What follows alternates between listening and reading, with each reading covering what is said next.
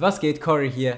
Und heute möchte ich euch damit reinnehmen, wie ich die Bibel studiere. Äh, ich wurde jetzt häufiger gefragt, dass ich mal ein Video darüber mache.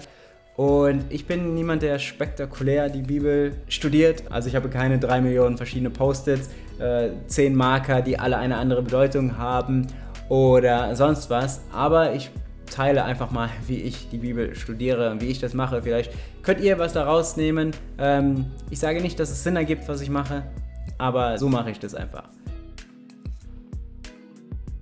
Zuerst suche ich meine Bibel, weil sie wahrscheinlich wieder unter der Couch ist.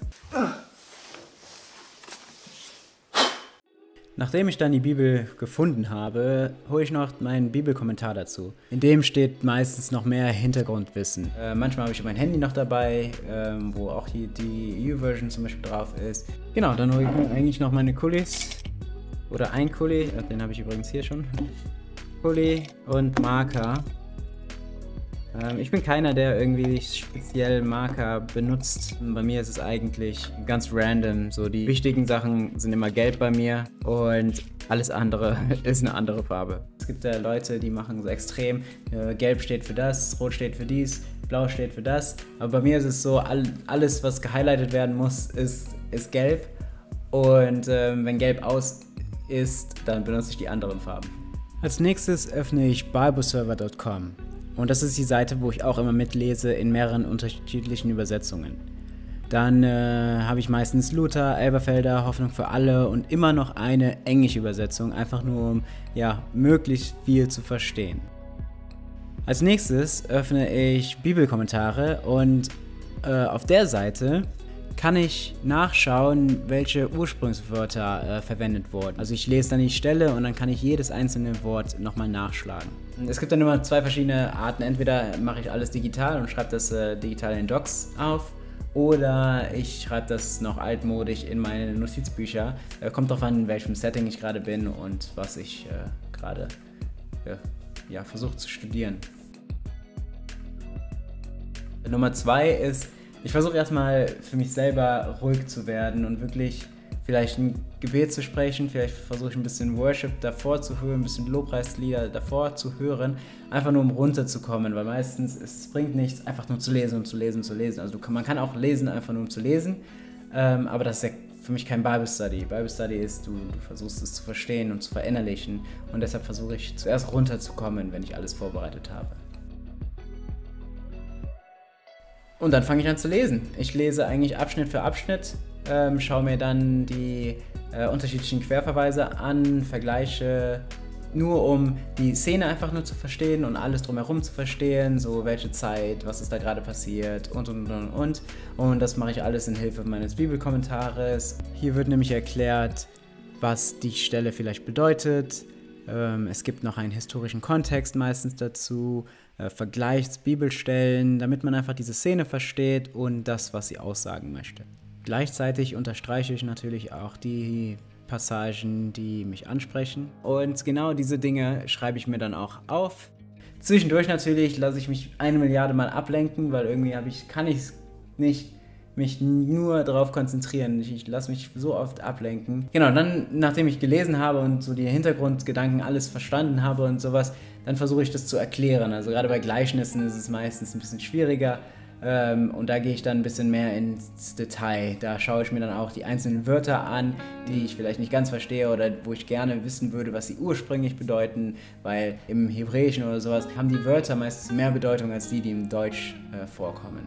Wenn ich irgendwie nicht verstanden habe oder sowas, dann lese ich vielleicht nochmal in Hoffnung für alle oder in Elberfelder oder auf Englisch sogar, wenn ich, wenn ich gar nicht weiterkomme. Und wenn ich dann zum Beispiel nachschauen möchte, was ein Wort speziell bedeutet hat, dann gehe ich wie gesagt auf bibelkommentare.de und dann sehe ich zum Beispiel ein Wort wie Erstaunen, klicke dann das Wort und dann sehe ich hier, Ekstasis hat bedeutet und hier wird nochmal angezeigt, wie oft das in der Bibel vorkommt. Und hier sehen wir die ganzen unterschiedlichen Stellen. Und wenn ich die lese, verstehe ich meistens auch nochmal, äh, was das Wort ähm, genau bedeutet oder in dieser Stelle bedeutet. Aber das ist so der Teil Erklären und Verstehen. Zum Schluss ist es Anwenden. Meistens habe ich noch eine Bibelstunde. Ich habe zum Beispiel samstags, äh, jeden Samstag jetzt um 18 Uhr eine Bibelstunde, wo wir jetzt gerade das Markus-Evangelium durchgehen. Und ähm, da ist sozusagen die Anwendung, da versuche ich halt noch herauszufinden, hm, wie kann man diese Szene, die wir jetzt gerade gelesen haben, auf heute anwenden. Dazu schaue ich mir meistens auch nochmal eine Predigt oder sowas an. Ich gehe dann einfach auf YouTube, gebe dann einfach die Bibelstelle ein, Markus 5 zum Beispiel, und ich gucke gerne Sachen auf Englisch. Äh, also schaue ich mir einfach äh, Mark 5 äh, Sermon. Und der hier zum Beispiel, der MacArthur, der ist ein sehr guter, ähm, genau, ein sehr guter Prediger. Und dann schaue ich mir ein bisschen ein paar Predigten an oder sowas, um nochmal ein bisschen zu verstehen, so wie ich Sachen anwenden kann im Alltag oder, oder, oder, oder.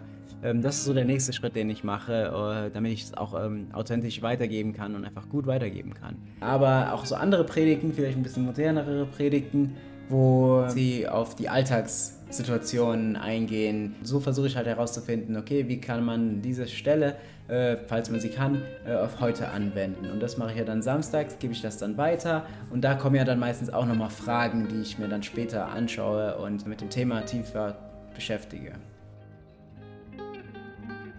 Und zum Schluss dann, ähm, wenn ich das Thema eigentlich komplett so verinnerlicht habe, versuche ich immer noch ähm, darüber zu beten oder wir haben eine Gebetsgemeinschaft oder ähm, Gebetskreis, wo wir dann nochmal dafür beten, dass das Wort, das gerade gepflanzt wurde, ähm, auch aufgeht und dass wir das nicht nur gehört haben, sondern dass wir auch verinnerlichen.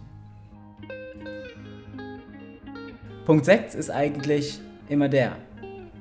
Ich habe es jetzt gelernt, jetzt vergesse ich es wieder. Weil meistens kommt dann jemand, der fragt so, ja, was bedeutet diese Stelle? Und dann kann ich es nicht auf Anhieb erklären. Und dann heißt es einfach nur, dass ich alles wiederholen muss. Also ich wiederhole einfach genau dieselbe äh, Struktur, die ich gemacht habe, wiederhole ich. Nur das Ding ist, ich habe dann ein bisschen mehr Wissen und das Krasse, das Coole an der Bibel ist, dass dann noch mehr rauskommt. Wenn ich das zweite Mal diese Stelle studiere, dann bin ich gefühlt noch eine Stufe ja, eine Ebene tiefer. Das ist so mein, mein Alltag, mein Durchgang. Ich hoffe, ich konnte euch das ein bisschen zeigen, wie ich das mache. Ich sage nicht, ihr müsst es genauso machen, weil ich habe schon meine seltsame Art. Ich weiß noch nicht mal, ob alles Sinn ergibt, wie ich es mache. Das ist so, wie ich es mache und ich wurde häufiger jetzt gefragt, ob ich so ein Video mache. Ich weiß nicht, ob das gut genug ist für euch. Ihr könnt mir ja unten in die Kommentare schreiben, wie ihr die Bibel gerne studiert. Und ähm, ja, oder ob ihr es je gemacht habt.